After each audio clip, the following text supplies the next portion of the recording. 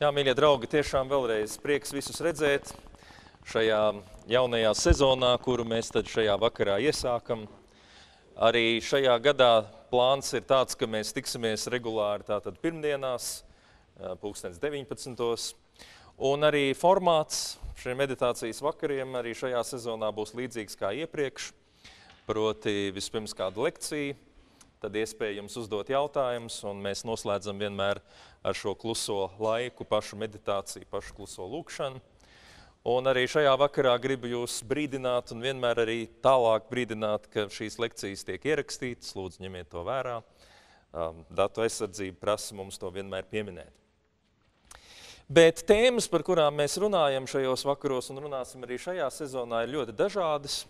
Mans mērķis ir, ka mēs tuvākajos mēnešos izietu cauri tādam veselam tēmu lokam, kur es gribētu apstāties pie dažādām garīgām praksēm, kas ir bijušas pazīstamas tieši kristīgajā kontekstā, kristīgajā garīgumā, un mēģināt varbūt tā mūsdienīgi parādīt mums katram, kā mēs varam izmantot tās iespējas, ko šīs senās tradīcijas un prakses mums dod.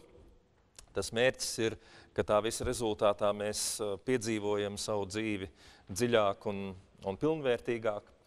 Bet pie tā mēs ķersimies sākot ar nākamo nedēļu, bet kā jau arī tie, kas esat ilgāku laiku šiem vakariem nākuši, jūs zināt, ka mēs vienmēr iesākam sezonu ar to, ka es šajā pirmajā reizē gribētu atgriezties pie pašiem pamatiem un vēlreiz drošības labad mums visiem atgādināt, kas tad ir tas garīgais ceļš, par kuru mēs runājam, tad, kad mēs tiekamies šajos meditācijas vakaros. Kas ir meditācija, kāpēc tā ir svarīga un kā tad beigu beigās mēs varam to praktizēt. Un es zinu, ka daudz no jums to darat, un labi, it kā jau zinat, bet mana pieredze rāda, ka tāda savu veidu atkārtošana nekad nenozīmē, ka es nonāku vienā un tajā pašā punktā. Jo pat ja es sacītu precīzi to pašu, ko es teicu vārdiski pirms gada, uh, Jūs un mēs visi esam par šo gadu mainījušies, un līdz ar to mēs sadzirdam kādas citas lietas. Tas ir kā jūs atceraties, kā tajā piemērā ar grāmatām, kur cilvēki kādreiz lasa, viņi kaut ko pasvītro, atzīmē. Un ja viņi pēc kāda gada vai ilgāka laika šo grāmatu paņem rokā, tad viņi brīžiem ir, vismaz es esmu ļoti pārsteigts par to, ko es esmu tur pasvītrojis. Un man sāk likties, ka tas galīgi nav tas būtiskākais. Respektīvi, ja mēs mainamies, mainās arī tas, ko mēs paņemam līdzi. Un tāpēc uh, meditācija, kas ir, kāpēc, ko mēs ar to saprotam un darām. Un um, vēlreiz drošības labad atgādināšu, ar šo vārdu meditācija tiek saprastas ļoti dažādas garīgas prakses. Un arī mana personiskā attieksme pret šīm dažādajām praksēm varētu būt ļoti dažāda. Un bieži vien mm, ar to tiek saprastas dažādas metodes, vai varētu pat lietot vārdu tehnikas, paņēmieni, tātad, ar kuriem cilvēki mēģina izraisīt uh, sevī uh, noteiktus stāvokļus, noteiktas izjūtas, noteiktus apziņas veidus, kā mēs lietas uztveram. Uh, un te nāk prātā tādi varbūt emocionāli pieblīvēti vārdi kā trans vai kaut kas tam līdzīgs. Mēs visi to labi zinām, ka cilvēks ir spējīgs ar noteiktiem vingrinājumiem, noteiktiem paņēmieniem novest sevi uh, kaut kādā īpašā stāvoklī. Un tad eh, bieži vien tas ir, kas cilvēkiem asociējas ar meditāciju. Tātad tev ir kaut kāds uzdevums, mērķis, tu gribi panākt noteiktu uh, izjūtu, noteiktu stāvokli, un tad tu mērķiecīgi uz to ej. Un um, visu cieņu tādas, tādas metodas pastāv.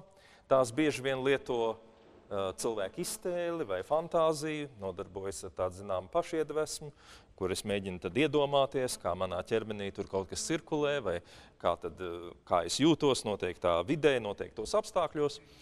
Eh, bet to visu cienot un respektējot principā, es tātad vēlreiz pasvītrošu, ka tad, kad mēs šajos vakaros runājam par meditāciju, mēs ļoti strikti pieturamies pie tā, ko eh, šobrīd pasaulē pazīst zem šī virsraksta kristīgā meditācija.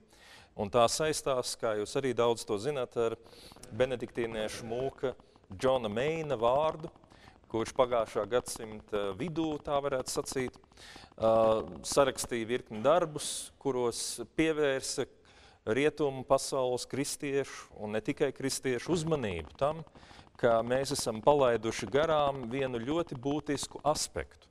Ne tikai kaut kādā nu, pasaules mērogā, kur mēs esam varbūt no jauna atklājuši tur, teiksim, austrumu garīguma formas un meditācijas formas, bet mēs esam palaiduši garām to, kas ir bijis tepat uh, mūsu pašu kultūrā, mūsu pašu tradīcijā, mūsu pašu reliģijā ļoti pazīstams. Un Džona Mēna lielais uh, nopelns bija tas, ka viņš palīdzēja mums saprast, ka lai mēs varētu piedzīvot nopietnu, transformējošu, dziļu garīgumu, kura centrā ir nevis tas, ka mēs histēriski kaut ko darām un mēģinam mainīt sevi un pasauli un, un, un, un, un, un tādā veidā iegūt kaut kādu drošību, ka īstenībā, ja mēs gribam piedzīvot dziļu garīgumu, kura centrā ir tas, ka mēs mācāmies iet miera, klusuma, klātbūtnes, vērīguma ceļu, Mums nav nepieciešams uh, obligāti skatīties uz citām kultūrām, citām tradīcijām, jo tas ir bijis vienmēr šeit pat klātesošs. Un es gribu tikai vienu lietu garām ejot jums pieminēt. Redziet, rietumniekiem bieži vien ir ļoti liels tāds respekts un cieņa un interesi par dažādām citām kultūrām, uh, ja iet runa par garīgumu un meditāciju. Mēs uh, daudzi uh, varam sev apkārt redzēt cilvēkus, kas māca dažādas austrumu garīguma formas.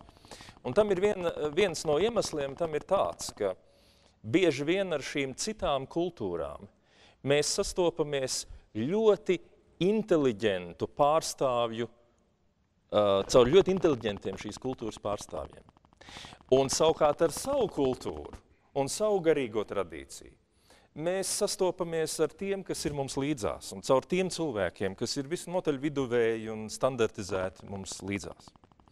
Ko es ar to gribu sacīt? Tad, kad atbrauc kāds un mums ļoti inteliģentā veidā stāsta par to, kas ir budisms, kas ir hinduisms, ko nozīmē garīgais ceļš attiecīgās reliģiskās izpratnēs, kas ir jogas būtība un tā tālāk, mēs sastopamies ar augstu līmeņu bieži vien, nu, bieži vien nē, bet nu labi, mēs sastopamies ar augstu līmeņa kvalitatīvu pienesumu. Un turpretī, ja mēs runājam, nu kas tad ir kristietība, tad mums prātā nāk tas vecais mācītājs vai priesteris, ko mēs tur bērnībā klausījāmies, kurš pašs nesaprata, ko viņš tur daudz runā, mēs arī nesapratām. Un mēs saprotam, ka nu, tas ir tā primitīvi. Bet atcerieties manus vārdus, ja jūs aizbrauktu teiksim, un apmestos kādā standarta vietā austrumos un vienkārši aiziet uz blakus, blakus teiksim, kādu vietu, kur teiksim, notiek rituāli, tad jūs sastaptos ar arī ļoti atšķirīgu versiju un ļoti cita veida izjūta attiecībā uz to, kas šīs tradīcijas ir. Bet nu, tā tad Džons Mēns, ko viņš izdarīja? Viņš um, Viņš iepazinās vispirms jā, ar ļoti inteliģentiem cilvēkiem hinduismu tradīcijā. Viņš bija diplomāts, viņš kalpoja diplomātiskajā korpusā. Tur viņš tātad, uh, sastopās ar šiem indiešiem, kuri viņam iemāca uh, meditācijas formu, kas viņu ļoti uzrunā, jo viņš pēkšņi tajā atklāja kaut kādu citu garšu, nekā viņš ir pieredzis domāt par to, ko nozīmē garīgums. Jo viņš, būdams 20. gadsimta, sevišķi pirmās daļas kristietis, viņš bija ļoti dabiski sapratis, ka, mm, ka kristietība ir galvenokārt stāsts par sociālo darbu. Ka kristietība ir rūpēties par grūtdieniem, izdalīt zupu, palīdzēt tiem, kam nav ar ko apsekties. Tas ir darbs ar veciem cilvēkiem, jauniem cilvēkiem, vēl cikot dažādi veidi, kā mēs tehniski to saucam, diakoniskā kalpošana. Un man jāsaka jums, ka tā ir, protams, liela taisnība, jo kristietība uzskata, ka ja, tavas, ja tavs garīgums nepārtulkojas un netiek translēts uz to, ka tu reāli kaut ko dari savādāk savā dzīvē, tad ļoti liela iespēja ir, ka tavs garīgums ir vienkārši tavs iedomas un tu tur uzpūt savu pašapziņu un tas ir viss, kas notiek. Bet eh, tātad Džons Mēns saprata, ka tas ir pa maz. Nu, ko nozīmē, man ir jākalpo citiem cilvēkiem? Tas, protams, ir skaisti un labi, bet, bet kas ir ar mani pašu? Kas tad ir tas pamats, uz kā es varu kaut ko balstīt? Un eh, acīm redzot, kaut ko no tā viņš nebija īsti līdz galam piedzīvojis tajā savā līdzinējā pieredzē, bet tur sastopoties ar šiem austrumu skolotājiem, eh, kuri viņam iemācīja šo vienu interesanto meditācijas formu, viņš jūt, ka tur viņš saskarās ar kaut ko, kas palīdz viņam patiešām mainīties. Nevis vienkārši darīt kaut ko labu, kas principā ir ļoti pareizi. Bet, eh, bet mainīties tādā nozīmē, ka piedzīvot, ka, ka es kaut kā iegūstu spēku un varēšanu kaut kā savādāk pasauli uztvert un līdz ar to varbūt kaut ko citu viņā darīt. Es ceru, ka jūs jūtat to starpību. Ja? Vienā gadījumā tev vienkārši tiek pateikts, tev tas ir jādara, un otrā gadījumā tev tiek iedots instruments, kā rezultātā tu mainies. Vienā gadījumā tev tiek sacīts, tev ir jābūt mierīgākam un laipnākam pret cilvēkiem.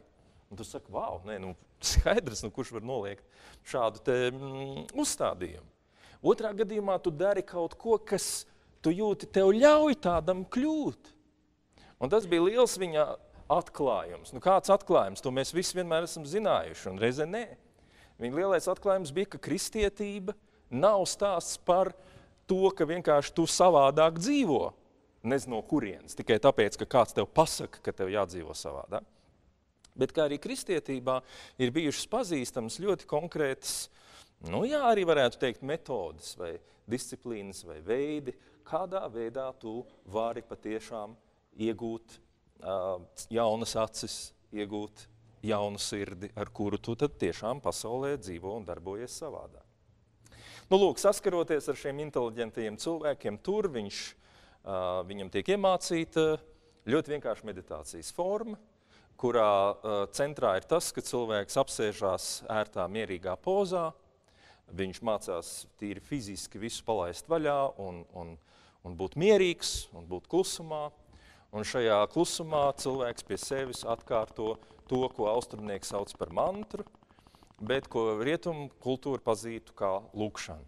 Pazītu kā tātad kaut ko, kas tiek atkārtots, kāds vārds, kāda frāze ar savu saturu, kura, kuras laikā, šīs atkārtošanas laikā mūsu prāts pakāpeniski norimst, un mēs iegūstam interesantu stāvokli, kurā mēs mācāmies būt nevis kaut kur prom, Nevis kaut kādos transos, kā bieži vien to interpretē tie, kuriem īstenībā maza pieredze ar to, bet kas mums māca, kā reiz būt šeit un tagad. Māca mums būt klātesošiem.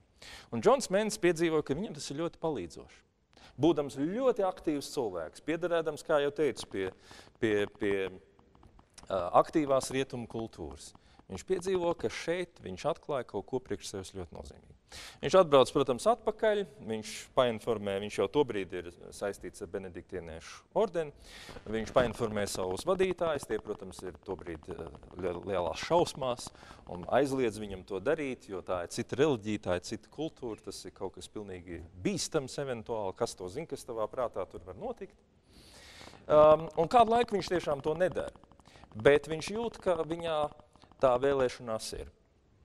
Un tad uh, savā ziņā meklējot, vai tad tiešām kristietībā nav nekā ekvivalenta, viņš nonāk pie uh, tā, ka izlasa vienu Jāņa Kasijāna uh, darbu. Jānis Kasijāns bija viens no pirmajiem cilvēkiem, kas aprakstīja tā saucamo tūkstnešu tēvu vai kristīgo askētu dzīvi. Un šajā darbā viņš pēkšņi atklāja, ka tur šis visas baznīcas atzītais, svētais cilvēks, kura darbus ir it kā mēs esam lasījuši gadsimtiem ilgi, viņš apraksta precīzi to pašu metodu. Un tas bija Džanam Mēnam tāds milzīgs iedrošinājums. Viņš sacīja, ka tas, ko viņš ir izdarījis, tur saskaroties ar šiem citas kultūras pārstāvjiem, viņš ir atklājis priekš sevis uh, kaut ko savā tradīcijā, kam līdz tam viņš bija pagājis garām, bet kas īstenībā viņa dvēselē bija ļoti svarīgi. Un Džona Mēna attieksme pret meditāciju, un es gribētu uzreiz jums to likt ļoti skaidri pie sirds, ir apmēram tāda pati kā, kā pret jebkuru citu lietu, ko cilvēki dara. Mans klasiskais salīdzinājums ir ar dziedāšanu. Un mēs varētu, piemēram, aizbraukt uz kādu uh, citu kultūru, uh, ieiet tur templī, un sadzirdēt ļoti skaistu dziedāšanu vai muziku, kaut ko, kas mūs ļoti uzrunā. Un mēs varētu sacīt, bāc, bet tas ir kaut kas man ļoti uzrunājošs, tas, kas, tas man palīdz. Un tad es braucu atpakaļ. Un es domāju, vai es šeit nevaru atrast kaut ko līdzīgu, vai tiešām tā mūzika skan tikai tur. Un es varētu to atklāt šeit. Un es varētu ieraudzīt pēkšņi kaut kādā brīdī, ka izrādās, nē, arī, arī tajā manā līdzinājā kultūrā ir kaut kas, bet tikai es tam nebiju tik mērķiecīgi pievērsts uzmanību. Un, kāpēc es to jums stāstu? Tas nenozīmē, ka es esmu nokopējis no viņiem to lietu. Tas nenozīmē, ka ja, ja hinduisti dzied, tas nenozīmē, ka es kā kristietis nedrīkst dziedāt. Ja viņi sēž un meditē, tas nenozīmē, ka es kā kristietis nedrīkst sēdēt un paklusēt. Un šo lietu ļoti ņemiet vērā, ja sevišķi šeit, Latvijā, kur ik pa brīdim ir šie te, uh, lielie jautājumi par to, kādā veidā tas viss ir savienojams. Džons Mēns saprata, ka tā ir metode, kura palīdz viņam būt klātesošam un kāds liels pārsteigums īstenot vienu no galvenajiem kristietības pieteikumiem, par ko jau faktiski garām ejot pieminēju, ka kristietība saka, vai nu tu esi garīgs šeit un tagad, vai tu neesi garīgs vispār. Respektīvi, kristietība ir ļoti uz šo pasauli vērsta reliģija. Es zinu, ka daudziem cilvēkiem varētu likties, ka es tagad pateicu ļoti jocīgu lietu. Vai tad, reliģija, vai tad kristietība nav par to, kas ar mums notiks pēc nāves? Mēs tur ticam pareizi, un Dievs ir ļoti apmierināts, un tad mēs nomirstam, un tad ir lielie vārti, un mēs viņam parādām savu kristību apliecību un pasakām, ka es esmu vienmēr ticējis tam, kas apustuļu ticības apliecībā ir teikts, un Dievs saka, nu labi. Bet nē, jo kristietībā, kā jūs zinat, pamatpieteikums ir, ka Dievs kļuva cilvēks. Viņš iemiesojās Jēzu, un tas nozīmē, ka kristietības virziens ir nevis aizbēgt prom no šīs pasaules kaut kādā citā sfērā, lai gan daudz kristiešu tā to saprot. Bet kristietības uzdevums ir to garīgumu ienest šeit un tagad. Un Džons Mēns saprata, ka viņam, lai viņš varētu būt garīgs šeit un tagad, lai viņš varētu iemiesot visas tās labās lietas, par ko Mēs visi te runājam un domājam. Ir viens priekšnoteikums. Man ir jābūt kontaktā ar to, kas šeit un tagad notiek. Un pirmā brīdī tas liekas tik pašsaprotami, bet īstenībā tā nav. Tas ir tāpat kā, piemēram, cilvēki, atceraties arī piemērus, ko esam pieminējuši, sēž pie tējas vai kafijas krūzes un, un mēģina sarunāties. Un jūs pazīstat to nepatīkamo sajūtu, ka tas cilvēks ir it kā fiziski jums pretī, bet savās domās un savās emocijās un uztverē viņš nav klāt. Un tas nozīmē, ka saruna nevar notikt. Nevis tāpēc, ka, nezinu, kāds principiāli būtu nerunājams, bet vienkārši tas cilvēks nav klāt. Viņš domā citas domas, viņš atrodas kaut kur pagātnē, kaut kur nākotnē, viss kaut kur tikai ne šeit. Un tas, ko Džons Mēns tātad saprata, šī meditācija, šī prakse, kuru viņš bija apguvis no viena skolotāja, kas pieder pie citas reliģiskās tradīcijas, šī prakse palīdz viņam būt kontaktā ar to brīdi, vietu, laiku, emocijām, domām, sajūtām, norisēm, kas šobrīd viņā notiek. Un tas uh, interesantais ir, ka es varu izlasīt visas pasaules grāmatas. Es varu būt ļoti gudrs cilvēks. Es varu izlasīt Wikipēdiju, es nezinu, vai es varu, bet labi. Visu Wikipēdiju no galvas gandrīz zināt. Tas man nepalīdz būt šeit un tagad. Jūs saprotat, tās ir divas dažādas lietas. Es nekādā ziņā nevēršos pret intelektuālu, uh, intelektuālu darbību. Cilvēkam kaut ko zināt un saprast ir ļoti no svara. Bet tas, ka es zinu un lasu un vārdus lietoju, nenozīmē automātiski, ka es esmu spējīgs būt šeit un tagad. Dzirdēt mūziku, kas skan, ieskatīties acīs cilvēkam, kas tur pretī man sēž, satvert to, kas nāk no otra cilvēka un to, kas notiek manī. Un izrādās, ka šo lietu var vingrināt. Un ne tikai var, bet vajag. Jo, ja tu gribi kaut ko mainīt, ja tu gribi kaut ko jēgpilni mainīt savā dzīvē, tad pirmais nosacījums, pirms tu gribi kaut ko uzlabot, ir, ka tu esi pamodināts, vērīgs un klātesošs iepratī tam, kas notiek. Un no šejienes nāk vārds, kuru jūs dzirdēsiet, un esat dzirdējuši šajos meditācijas vakaros ļoti bieži, kad es saku, pieņemt realitāti. Un bieži vien atkal kādiem cilvēkiem liekas, ka te ir stāsts par to, ka man tagad ir jāakceptē viss pasaules ļaunums un jākļūst kaut kādam tādam citās sfērās lidojošam cilvēkam, kuram viss ir vienalga. Bet pieņemt realitāti nozīmē vienkārši saskarties ar viņu. Ko tu pēc tam ar viņu dari? Tā ir tava lieta. Un tāpēc meditācija var būt kristīga, un meditācija var būt ala nekristīga vai sekulāra, vienalga kas, jo tu vari būt kontaktā ar realitāti. Un tad ir jautājums, ko tu ar viņu dari. Varbūt tu nedari neko. Varbūt tu dari kaut ko vienu, varbūt tu dari kaut ko citu. Tas būs atkarīgs no tā, ko tu tur būsi lasījis un kas tevī notiks. Bet es apgalvoju, ka tu neko jēgpilni nevari sākt uzlabot šī vārda īstajā nozīmē, ja tu vispār neesi kontaktā ar to, kas ir. Ja tu dzīvo kaut kādos savos sapņos.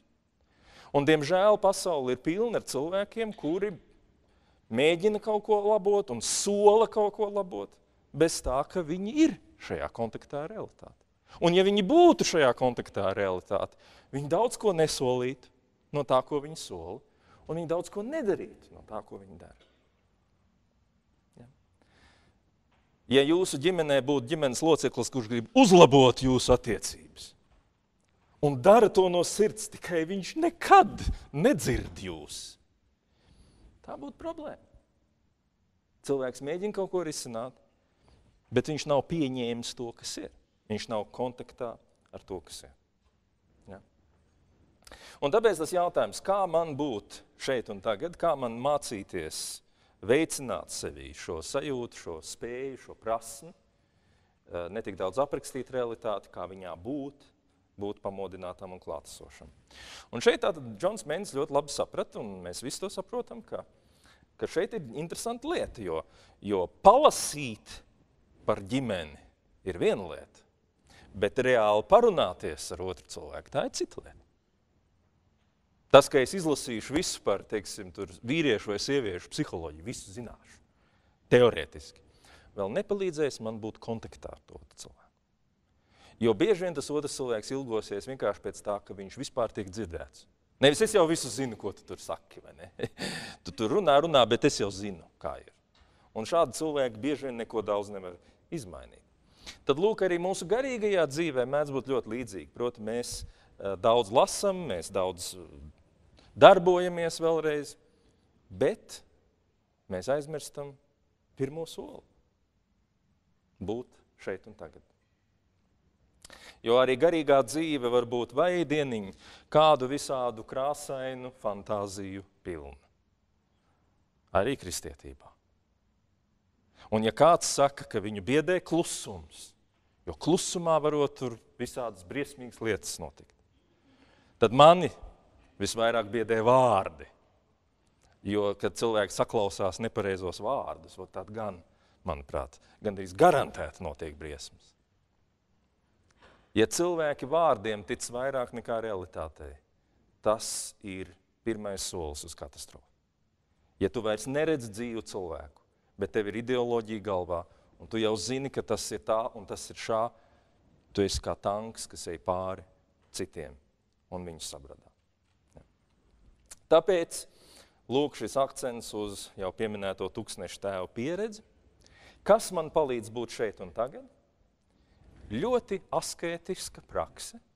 Asketiska šī vārda tādā vienkāršības nozīmē, ļoti vienkārša prakse, ko viens no tātad šiem tūkstnešu tēviem, Jānim Kasijānam, dod kā padomu, ko darīt gadījumā, ja tu esi apjucis, vai ja tev nav labas garīgas vadības, vai ja tu nezini, kur meklēt garīgu vadītāju, un tu nespēji atšķirt, kas ir labs un kas nav labs.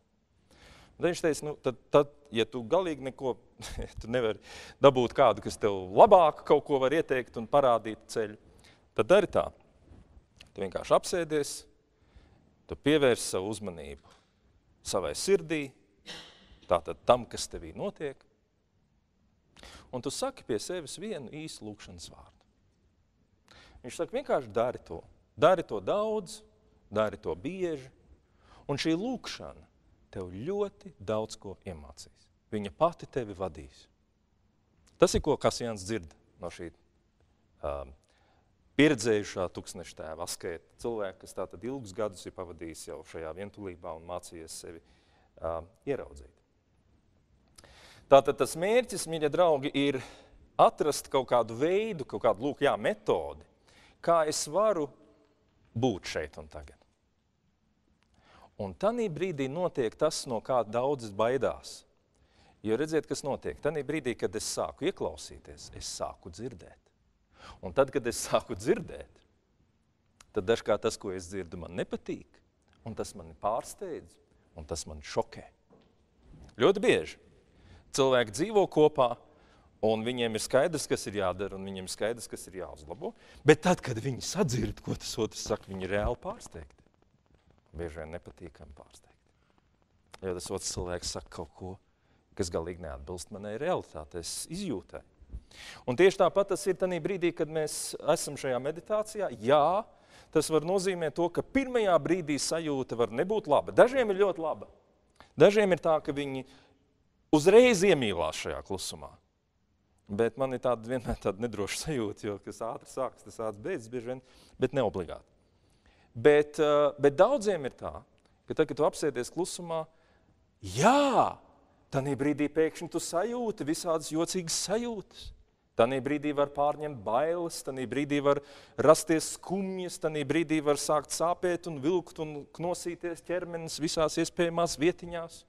Un cilvēks saka, ah, mums jau teica, nevajag to darīt. Kaut kas te tagad notiek. Bet es jums pateikšu, kas notiek. Notiek tas, ka jūs beidzot dzirdat to, kas notiek jūsu ķermenī, kas notiek jūsu dvēselē. Viņa tur sen jau ir skumja, viņa tur sen jau ir baili nomākta. Tas ķermenis jau sen nejūtās labi. Bet līdz šim mēs bijām tik aizņemti ar ārējiem impulsiem, ka mēs to nedzirdējām. Tagad mēs to dzirdam. Un tāpēc, sākot šo praksi, bieži vien tas ir grūti. Uh, liekas, nu es vispār nevaru noturēt to uzmanību šeit un tagad. Viņi man joņo riņķi apkārt. Bet beigās cilvēks cits ātrāk, cits mazliet vēlāk, bet sāk sajust šo milzīgo starpību starp to lielo turbulenci un visām tām sajūtām un domām un visiem priekšstatiem un tēliem, kas manī joņo.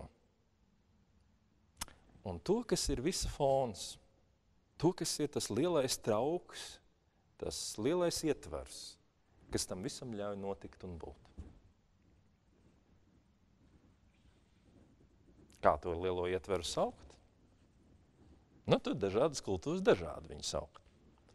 Bet Džons Mēnesis teica, ka tajā brīdī mēs sastopamies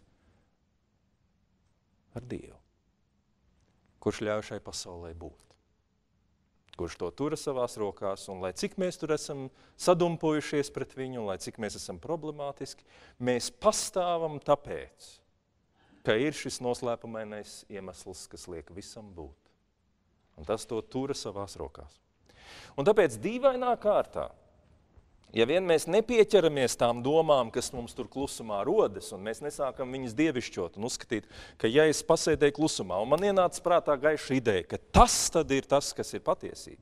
Bet ja mēs saprotam, tās ir domas, bet mēs mācamies sataustīt mazliet dziļāk, sajust mazliet dziļāk šo dziļāko līmeni, mēs sastopam gan savus dziļumus, mēs sākam sevi un savu apziņu labāk saprast un piedzīvot, gan arī mēs sastopamies ar Dievu. Un tāpēc tā ir kristīga meditācija. Ja mūsu mērķis ir ieraudzīt šo dievišķo klātbūtni, tad šī ir viena laba metode. Nevis runāšana par Dievu, bet viņa mīlestības un uzticamības sajušana. Un tad brīdī notiek tāda interesanta pārmaiņa, vai ne? No tā, ka tu virspusē esi koncentrēts uz to, kas notiek un ko tu dari, tu pamazām nonāc pie tā, ka tas uzsvers ir uz to, kas ir, uz esību, uz būšanu, uz to, ka mēs te visi esam. Un es varu šovakar justies ļoti slikti. Un es varu šovakar justies ļoti labi. Un ja es esmu kādu laiku meditāciju praktizējis, es sapratīšu, ka rīt es jutīšos vēl savādāk. Un parīt vēl savādāk.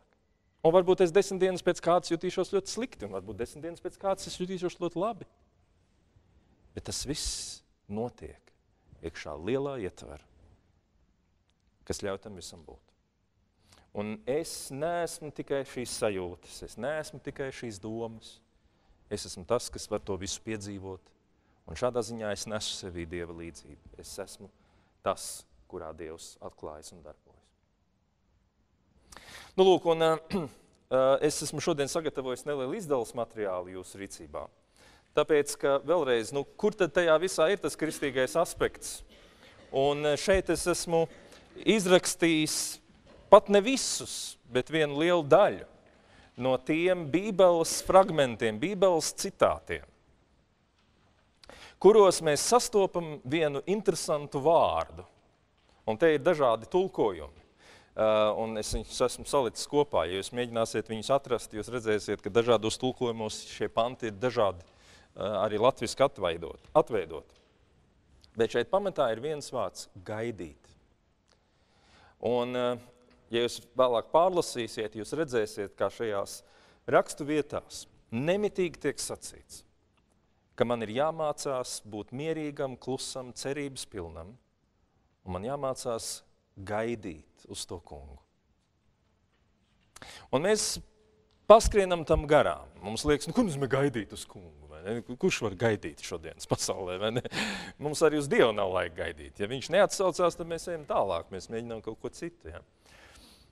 Bet tā gaidīšana, draugi, ir vārds, kurš ebreju valodā nozīmē tiešām gaidīt, bet tas nozīmē arī cerēt, tas nozīmē arī paļauties, tas nozīmē, nu, ka mēs sakam, es gaidu kaut ko labu, tas nozīmē, ka es ceru uz kaut ko labu, es ilgojos pēc kaut kā laba, es paļaujos, ka tas labais būs.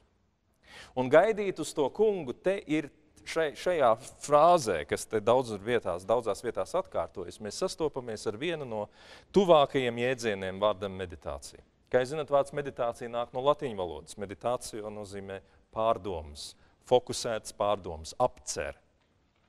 Un šis vārds ir caur caurim rietumnieku vārds. Un rietumos eh, mūki un mūķenes un garīgie cilvēki to vien darīja, kā viņi, teiksim, atrada laiku savā ikdienas plānojumā, lai apsēstos un un klusībā pārdomātu kaut kādas lietas un lūgtu Dievu un piedzīvot. Un no malas tas izskatās, ka cilvēks vienkārši sēž un klusē. Viņā notiek garīgs process, bet no malas viņš klusē. Un tad rietumnieki aizbrauc uz austrumiem.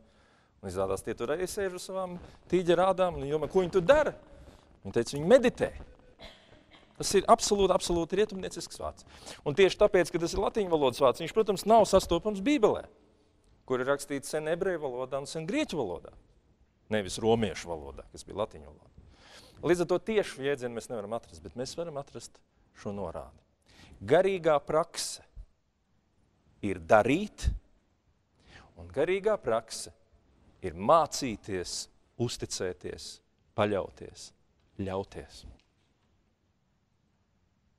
Jo tai savā milzīgajā aktivitātē un vēlmē visu izdarīt tā, kā es esmu iedomājies, mēs varam palaist garām to, ko kristieši kādreiz tā noformulē. Ka Dievam ir citi plāni, ka Dievs lietas redz savādāk. Ka es esmu tā iedomājies, ka lietām ir jānotiek tā. Un man liekas, ka es zinu, ka ja tas notiks, tad būs labi, un ja tas notiks, tad būs katastrofa. Bet realitāte ir daudz komplicētāka.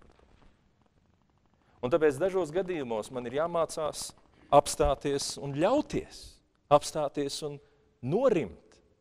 Jā, lūk, gaidīt, paklusēt, būt mierā.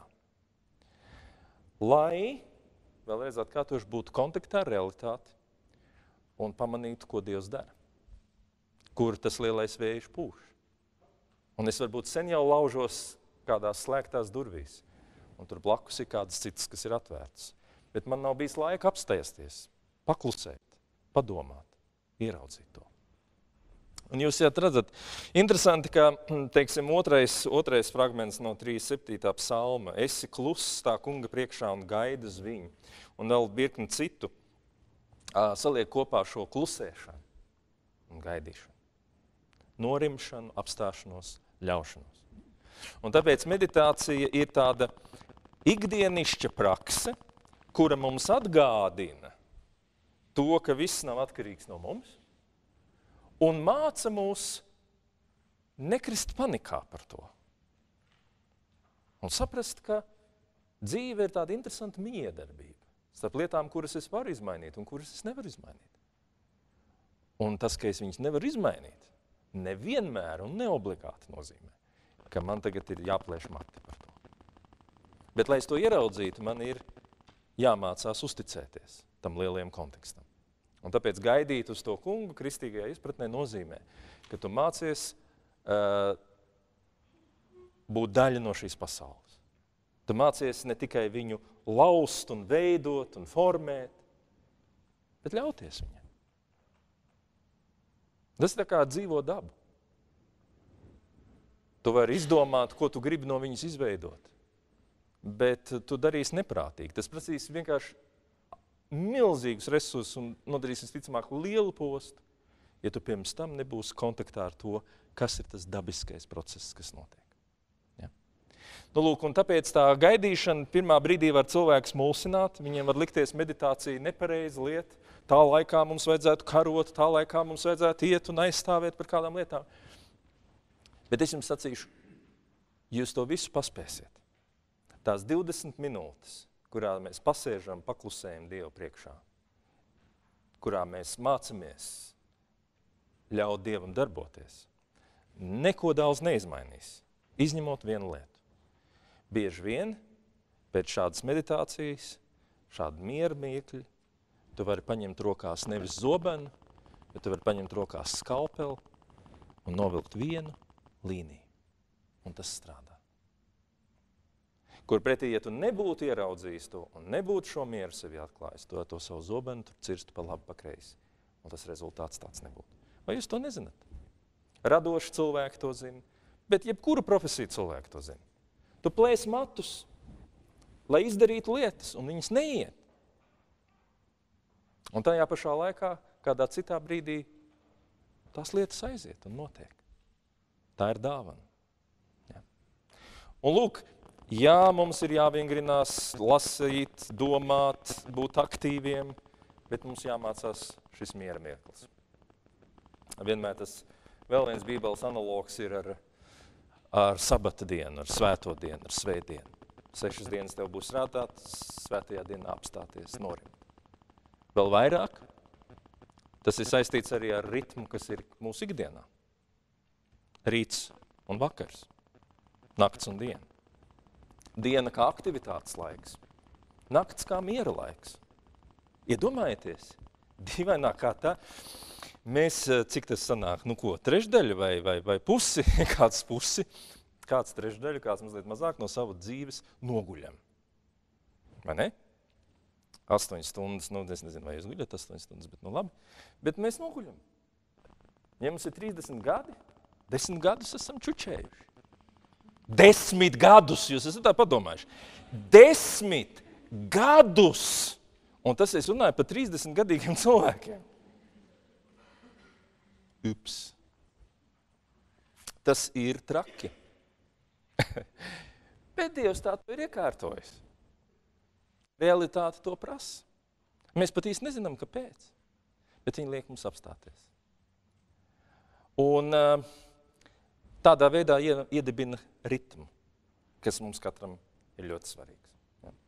Tātad es mācos būt aktīvs un es mācos norimt un apstāties. Es mācos mērķtiecīgi to izdarīt. Un uh, vēlreiz, tad, kad es esmu labi atpūties, es no rīta pieceļos un mana galva darbojas savādāk. Un bieži vien tā ir pilna ar jaunām idejām un jaunām domām. Ja? Tā ir tā analoģija. Līdz ar to mēs mācāmies to. Mēs mācāmies šo garīguma aspektu - klusuma, miera un klātbūtnes ceļu. Un tāpēc pašā noslēgumā tā tad vēlreiz meditācija, kā mēs šeit to saprotam, ir nevis cenšanās nonākt īpašā apziņas stāvoklī, kas faktiski nozīmētu visus pārējos apziņas stāvokļus uzskatīt par mazāk vērtīgiem, ka man jābūt tur, Bet šī ir meditācija, kas saka, nav nekā labāk par to, kas šobrīd ir. Un, ja tev kaut ko gribās, tu vari, protams, tajā mainīt. Bet, ja tu gribi saprast, ko tajā ir jāvajadzīgs mainīt un ko tu reāli vari izdarīt, tev ir nepieciešams vispirms būt šeit un tagad klātesošam. Un tā ir garīga prakse. Ne mazāk garīga kā dziesmu dziedāšana un bībeles lasīšana. Kāpēc? Tāpēc, ka tu arī to bībeli nevar izlasīt, ja tu neesi klāt. Un tu dzirdi kaut kādas atsevišķas frāzes. Tā ir garīga praksa. Gaidīt uz to kungu. Ko nozīmē gaidīt uz to kungu? Nu, gaidīt uz to kungu nozīmē gaidīt. Ko tas nozīmē? Tas nozīmē ļaut viņam darboties. Tas nozīmē uzticēties. Bet es vai tad es nevaru kaut ko var? Pēc tam var. Bet tev jāmācās saprast, tu neesi pasaules naba. Viss nav no tevis atkarīgs. Un tas ir ļoti terapeitiski, tas ir ļoti veselīgi. Nu jā, un tad tā metode ir, ka tu apsēdies mierīgi, uh, taisnu muguru, vai ne? Un tad viss domā, jā, nu, mēs tur atkal kaut kas ieskanās. Tā taisnā mugura ir tāpēc, ka sēdēt ar līku muguru nav pareizi. Un tas nav veselīgi, un tas aizspiež elpu ciet. Un, ja es jums teikšu, apsēdieties ar līku muguru, jūs būtu ļoti jocīgās domās par mani. Un tāpēc mēs sakam, ka mēs nevis sēžam kaut kā speciāli līki, mēs apsēžamies normāli. Tā taisnā mugura nozīmē, ka mēs esam šeit un tagad mēs esam pamodināti. Mēs esam vērīgi, klātsoši, gatavi reaģēt uz lietām, gatavi viņas pamanīt. Un tā metode, ko tā tad eh, piedāvā šie tūkstneši tēvi un ko pazīst visas garīgās tradīcijas, ir šis viens īsais lūkšanas vārds, bet, kā es jums garām ejot pieminēju, mūsu uzmanība kā tūkstneša tēvi to teica, ir vērsta uz mūsu sirdi. Un tas nav tas, tikai tas fiziskais objekts, pumpis, kas tur asins dzenā par mūsu vēnām. Bet sirds ir mūsu domu un emociju centrs. Un pievērst uzmanību vai novest prātu, kā viņi teica, sirdī, tas nozīmē, ka tu šajā brīdī ar labvēlīgu, mierīgu skatījumu un tādu vērību uzdod sev jautājumu, kas notiek manī? manās domās, manās emocijās. Bet tu nevis mēģini domāt un iet tam līdzi, nevis tajās emocijās kaut kā grimt vai viņas koriģēt un mainīt, bet tu mācies izturēt to, kas ir, ļaut tam būt. Un, lai tu varētu to izdarīt, tu ņem šo vienu lūkšanas vārdu. Džons Meins tātad izmantoja vārdu no apstuļa Pāvila, viens no viņa vēstulēm, kur Pāvils tātad piemin šo seno kristīgo lūkšanu, Maranata, ko kristieši lūdza bieži vien arī skaļi, starp citu, līdzīgi kā Aleluja un Ozianna un citi vārdi, kas netiek tulkoti. Šis Maranata nozīmē nāc kungs. Un ar to viņi piesauc Jēzus un svētā gara klātbūtni. Un viņš teica, tas ir labs vārds. Tas neliek tev kaut ko tur domāt un tagad nezinu, ko tur darīt. Tu vienkārši piesauc Dieva klātbūtni. Četras vienādas zilbes, maranata, un tu to pie sevis atkārto. Lūdzu, vēl pēdējā lieta. Tas nenozīmē, ka tu tagad mēģini tā atkārtot šo vārdu, ka kaut kas notiek. Tā vārda atkārtošana ir, lai saprastu, ka man nekas īpaši nav jādara. Savā ziņā šis ir mirklis, kurā Dievs ir šeit un tagad. Un nav neviena mirkļa, kurā viņš nebūtu šeit. Es jau to zinu. Bet atkal, zināt, ir viens, piedzīvot, ir kaut kas pavisam cits. Mēs šo vārdu atkārtojam. Ja mēs noklīstam savā domās, mēs to pamanām, mēs atgriežamies atpakaļ, mēs sev nepārmetam. Un mēs piedzīvojam, ka virspusē ir burbuļi, un virspusē notiek viss kaut kas. Bet ir tās rokas, kas to visu tur. Viņas ir klusas, Viņas ir maigas, neuzbāzīgas, bet viņas ļauj visam notikt. Un tad, kad mēs to piedzīvojam, mēs kaut ko esam no meditācijas pieredzējuši. Nu, lūk, tik daudz šovakar. Varbūt kādi vēl jautājumi, komentāri, iebildes, piebildes. Kaut kas, par ko gribētos vēl kādu minūtīti parunāt. Jā. Ja nejauši aizmiegi meditācijas laikā, vai tā nav necieņa pret Dievu droši vien iedomāts. Uh, man atbilde ir, ka nē. es domāju, ka Dievs to miegu mums ir devis un radījis. Un, ja mums ir vajadzīgs gulēt, tad mums ir vajadzīgs izgulēties. Tikai nākamreiz pirms tam varbūt vēlams pagulēt un tad, tad meditēt. Jo, jo meditācija nav domāta sevis mocīšanai. Tas nav domāts, lai sevi mocītu. Tas nav domāts, lai kaut ko panāktu. Tas ir domāts tam, lai saprastu, ka es varu gaidīt uz Dievu. Un tādā ziņā nebaidieties, un Dievs, ko es vispār jums gribētu principiāli teikt, Dievam nav tik trausls tas viņa ego, kā mums cilvēkiem. Un, um, nu jā, tā ir laba ziņa. Vēl kaut kas?